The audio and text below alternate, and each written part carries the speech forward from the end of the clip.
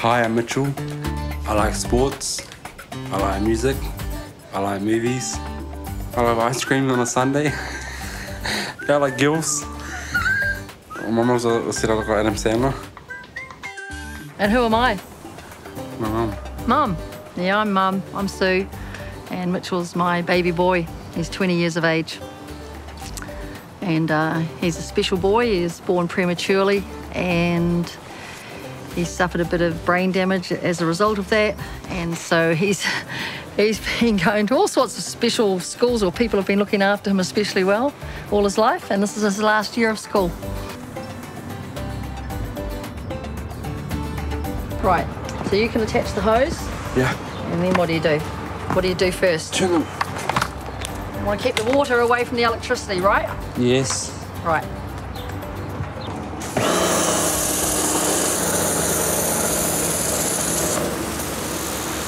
Mitchell was in the uh, NICU, intensive care at National Women's, for at least 10 weeks. It was all a shock to go down that path and deal with a very preemie little boy. And then once you got home and, and time went on, started to realise that actually things weren't all okay with him and came to the conclusion that he had probably suffered some brain damage at birth.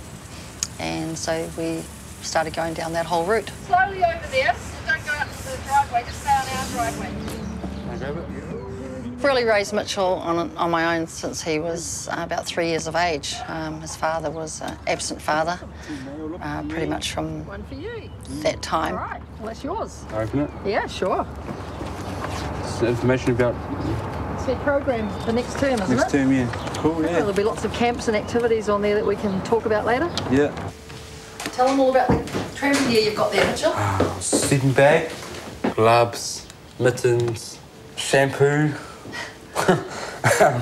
what do you call those things? Thermals. Mitchell spends a lot of his time in the outdoors, fishing, camping, tramping, sailing. What are you doing next weekend? Um, be at camp still. What sort of camp? The, the, the trimmy one. You're going to climb a mountain this time, Yeah. up in the snow, in the cold. Are you ready for this? Are you Yeah. fit enough? Yes. My mum's a policewoman. She goes tickets out in the cop car in there and stops people on the roadside speeding. Goes to other scenes, motorbike accidents and yeah. I lost my dad very very sad. How did you lose him? Cancer. Cancer? And he and what happened? He Died. He died. Yeah. Just not not even two years ago, eh? Yeah. Would you like to live by yourself or in a flat with other people, But at the same or, house. or a house with other Well, people? I'm living here. Uh, my house. Yeah. With other people. Yeah. Where would I go? on the lounge. In the lounge. Yeah.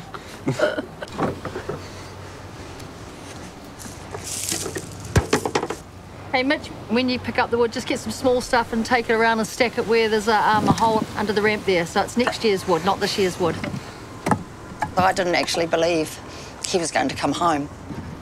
And the day that they said, yeah, he will be coming home, I, I think I came home and actually started to prepare a room for him. I just failed to believe that he was actually going to get well enough to ever do it.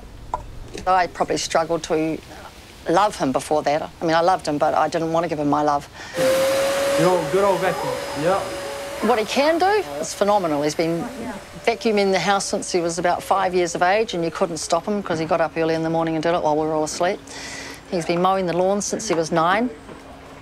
He does voluntary work with uh, two intermediate school caretakers, and he also does work experience through his own school. He still needs supervising, but he's keen and he is certainly a worker. Good exercise, eh? Like mowing the lawns, really. Get the money for it. A lot of adults have understood where he's coming from and given him a lot of leeway. Children, no, children can be very cruel, as we all know, and he all he's really ever wanted was to have his own friends. I think he was bullied to a great extent at school when he wasn't in the protection of his classroom with his teachers. So I think all he's ever wanted was to be accepted, but he found that that was very difficult as a young person. He's always got on really well with adults, and now that he's becoming an adult, I think he'll start finding some friends. He's, he's got a couple of friends from the organisation he does a lot of activities with, Recreate. It's Tom and Jamie. Hello, Tom. What are you doing? Are you on computer, Tom? What are you doing? What videos? Just, Justin Bieber, eh?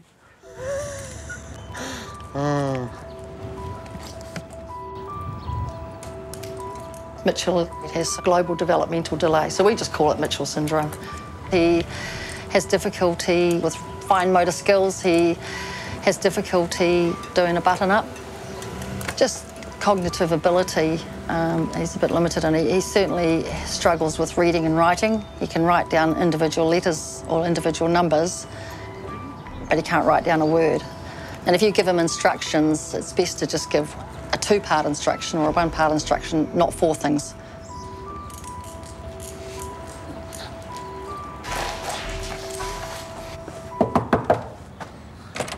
Hey, Tom. Hi, Mitchell. With Tom, he gets to do a lot of activities with Tom and Tom's dad. mate? What you been up to? Nothing much, mate. Mucking around? Yeah, You guys, you guys hungry? Yep. You know what to do, Tom. Did you watch the rugby last night, Mitch? Yep. Pretty good, eh? Good game, man. Didn't it? Yep. Tom, what did the All Blacks do to the Aussies?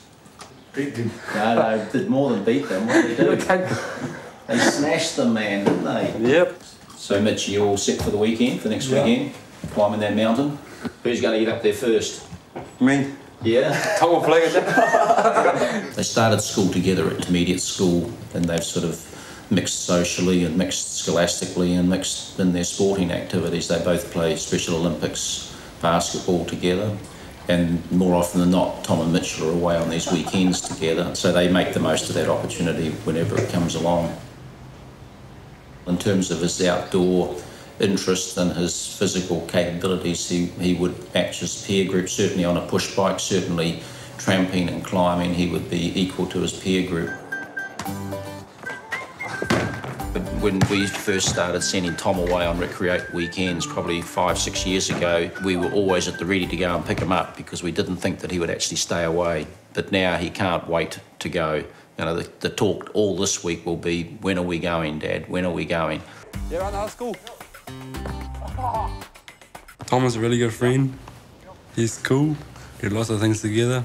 We play basketball together. He's really good at sports, but I do all the talking. Sometimes we fight. After that, we're friends again, man. I'm sir. That's it. Tom likes skills, man. He likes any skills. Connor, Connor. What else did I do, Tom? Huh? Play. What else, Tom? Huh? What else, mate? Well, Touch rugby. no. Come on, to the left. We got the McLean Centre. I met Russell Grammar. Oh. Oh. One-handed. We do art there. We do computering, sport. All the teachers good there. My class is cool, man. Lots of friends, man. Here's my classroom. It's not very fun. Uh, this one. That's your seat? Yeah. And are there any of your pictures on the wall here? Uh, no. There's mine there. See there? So yeah. Oh, mine's right there. As this is yours, Tom. That's Tom's. Look. Tom with that. This one here. I do that one there. Oh, cool. There's a soccer field. Oh, cool. Uh, I should show them. uh. the tree and me. Tom made, Tom made that tree. And this too. Tom made that And the flags. That's Tom's fire extinguisher. I like all the teachers. You like the teachers? Yeah. Look at you guys. And are you good boys or bad boys? Good boys. That's Tom's garden. There's Tom's picnic table for him. Say Tom. The picnic table. Tom's girlfriend's there. Nah. Yeah. And Tom does the lawns, eh Tom? Yeah. Tom does the lawns around here. That's Tom's picture there, that blue thing. and that's yeah, that's about it. Recreate's really good for the young people because they're finally away from their parents, and of course, we've probably mollycoddled them a lot more than, than other parents have, or we did for our other children. So uh, it it is really good to untie the apron strings and let these kids get out and be themselves. And I think Recreate allow them to be themselves and have quite a lot of fun.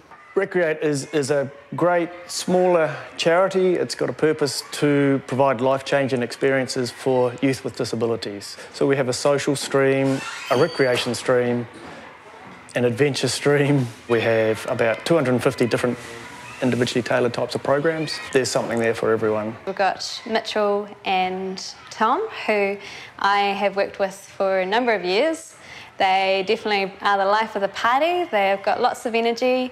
Uh, Tom and Mitchell, at the beginning of the year, we did the Otago Rail Trail, and they were just streaks ahead of us. They've just got great amount of energy, and will um, definitely be ones who to look forward to getting up the top of the mountain. Jump in too. Let him back.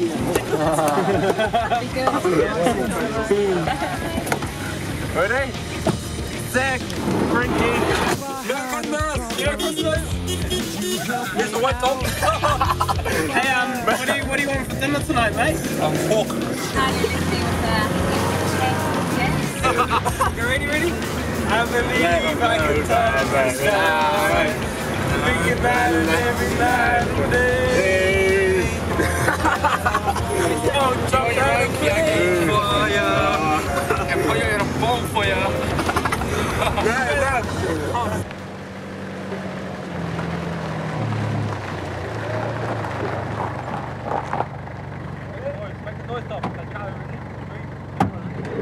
make sure someone new. So, so Tom, what, what did you think of the snow trip? Ah, ah, this guy's got. You guys are funny, man. Trip. I like Justin Bieber. Tom's a funny guy. Yeah, yeah.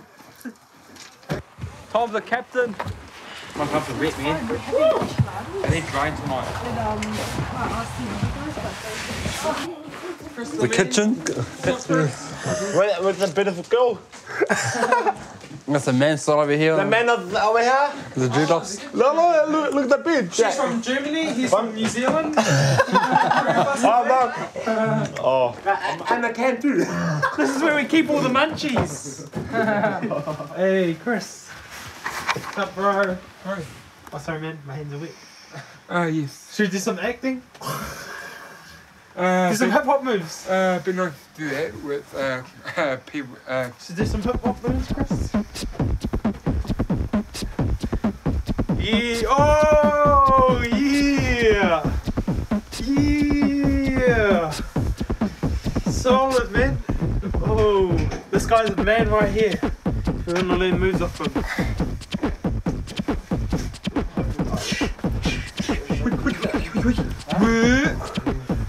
Chris, he's the man. He's good at this. He knows what he's doing. He's the man. Chris is good because he's like a crystal. Oh.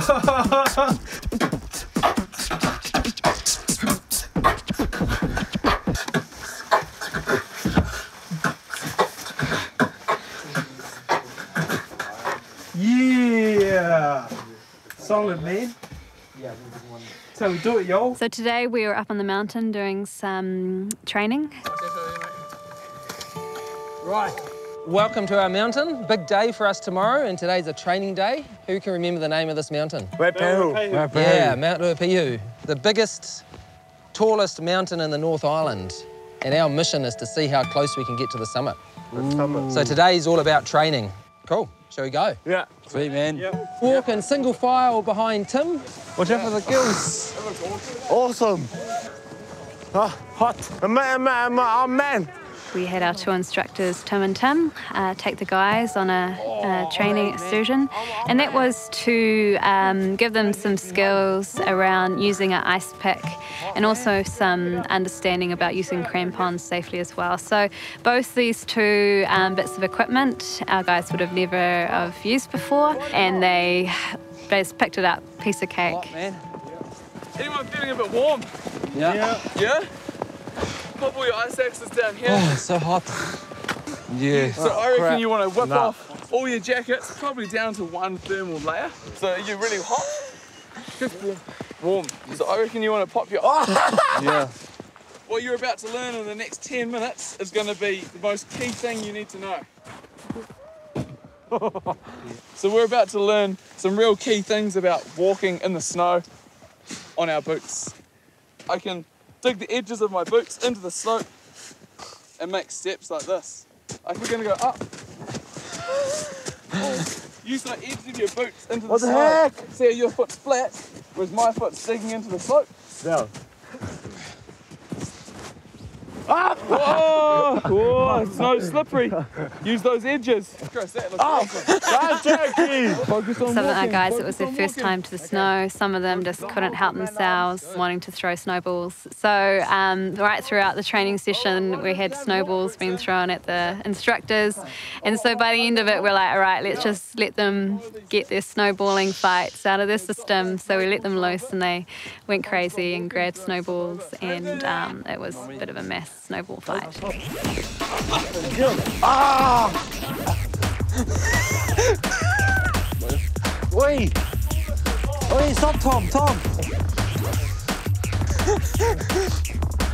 Ah, Bye. We're gonna start moving again. So, Oh, man. come over this way. Smell my boot, mate. Very nice. So tomorrow we've got our climb, and overall the group are looking pretty confident. It's more about the, the mental endurance and also sometimes a bit of the physical strength and endurance to be able to get up that mountain.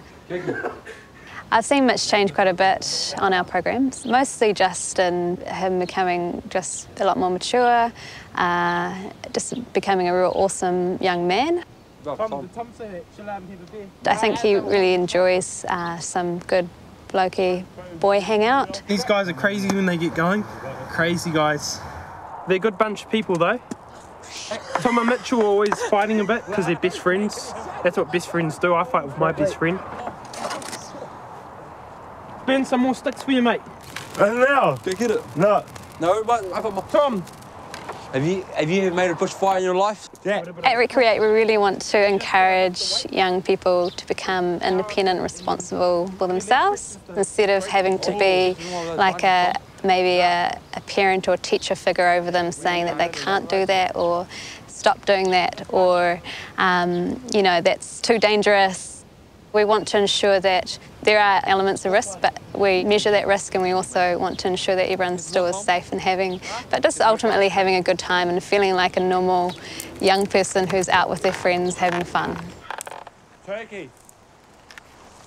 Mitch. Tom, come pull this. Help me pull this. Well, I've done a good job of it today. I haven't found a girlfriend yet, but I'd enjoy, love to enjoy and have one, a partner to share my life and girl that's understanding, enjoyable to be with, and who would take me for who I, was, who I am. ready? Ready? Oh, You got it, Tom? Yeah. Why?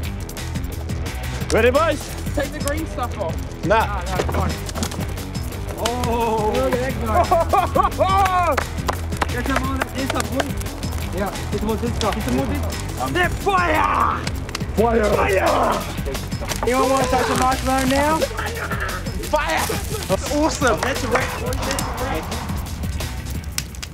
we, Yeah, we're preparing enchiladas and I've just like ground the mince and add beans to it. This is my first time by doing it, so this time it'll be quite tiring and also my knees will hit it. My body can't, can't hit it. Do you want to say a little karakia before we eat? Just a nice little wee. Just thanks for the food and for. Thank God for the activities we face tomorrow. We've been training for it. God bless this group and I hope you like this meal. Amen. Amen. Amen. Amen. Amen. Huh? How, how, how, how's the battery going in there? Yeah.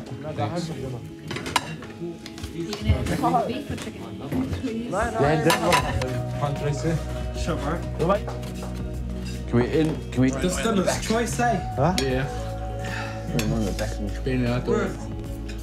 What would you guys eat if you ran out of food on the mountain? Right. Someone. Uh, rat. I know. I know. Eat somebody alive. Ate like rat. Horse poo. Just wait for a scare to come down the mountain and just like trip him up and just like eat, the, eat a scare that comes down the mountain. A bow and arrow. Do that. get from there, it's, it's uh, deer, baby. Like person, I can start some of the skiing. That's somebody's head. Maybe. Tom's a comedian. Stop We're gonna live. Go right there and knock on the door. Tom was crying at camp because he misses home. Why were you crying? Why? Uh, with my mummy and dad. Like the fire? Yeah. Well, that's like I like girls here. the dessert. Yeah. What? I, I like girls here. Get it? Huh? I call security on you. Nah. Nah. Let's Go, Tom. you you go.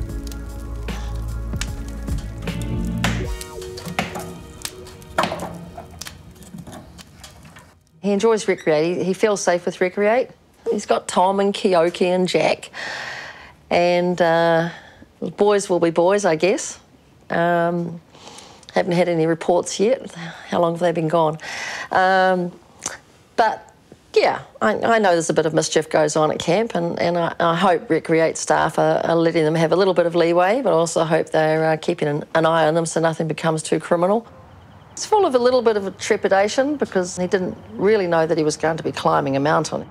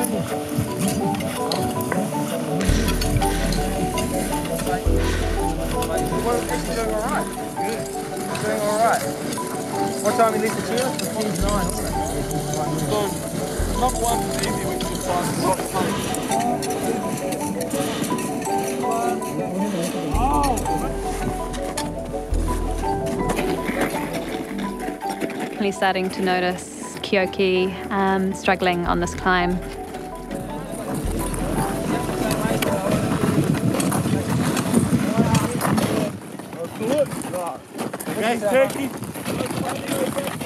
Why? Give him a bit of space. I'm I'm stuck. Help! Oh, the calves are getting a bit sore. Yeah. So yeah, have to go back down. Pretty hard. Couldn't make it up there with the rest of the group. But oh well. Maybe next time. Sweet. Gonna catch our breath here for 50 seconds, and then we're gonna start walking again.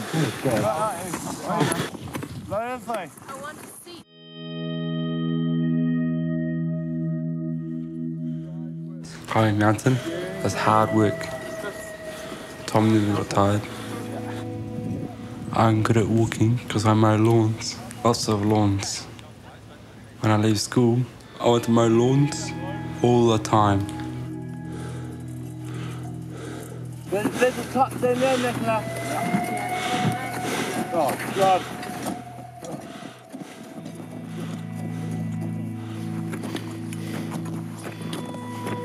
My legs are aching.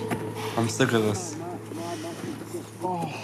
It's the hardest thing I've done in my life. You're doing awesome. Ah, ah, ah, jogging tonight. And which way is your picnic to be, Tom?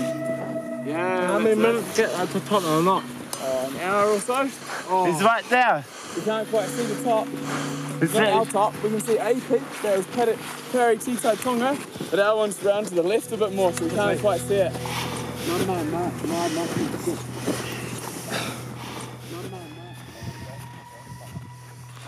I think we're gonna make it. Yeah. You guys. Where is it? Up there? Yep. Yeah. Your legs get seized up with the pain inside you. Burns like fire. Tom was alright. He was a bit puffing.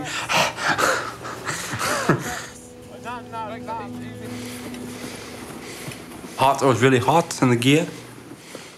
Feeling like a dog, man.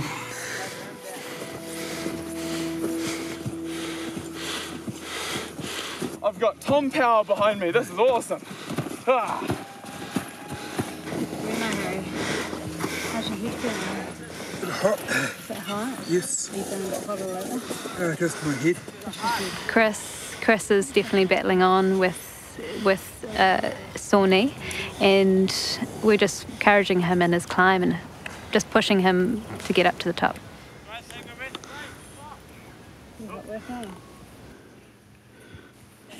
Chris is really um, feeling it here that he is struggling and possibly going through a bit of, you know, a bit of a mental process of wondering can he go on and can he get to the top despite the pain that he's in with his knee. But it's great to see that Chris is so determined and he is pushing on to get to the top. Man, get out, chop up here. Uh, there's a little gap. Hang in my footsteps behind me, Tom. You see where those four skiers are walking towards the sky? Yeah. That's where we've got to get to. Oh, God. Yeah. There's snow everywhere, man. Didn't expect this, man. So about half an hour from the top, you're definitely starting to notice some of our guys really starting to feel the effects of this day of climbing. There's a race, there's a race not close Ready? Oh, wait.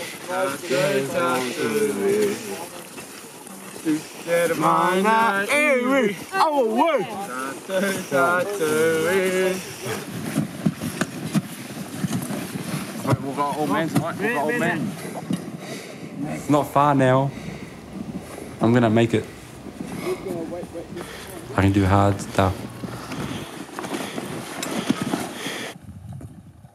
They've been walking for about three hours now, and yeah, they are looking pretty tired, feeling sore, and let's hope they can push on to the top. Oh, God. Oh, God. Huh? Man, look, four ass. Random. My trouble breathing is your fault. Over here, guys. Done it, man. I made it to the top. It was a good view from the top, good view.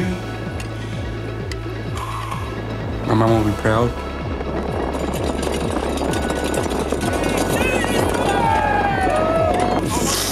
I'll do Mount Cook next year. And then I'll do Everest. yep. Tom will come as well. He'll make it to the top. And wave that flag up the top, man.